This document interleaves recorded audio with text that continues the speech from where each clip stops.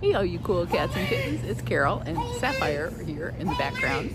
And for today's daily update, I'm just going to tell you what I've been doing. So I have walked around the sanctuary. I took a look in at the Bobcat Rehab Hospital.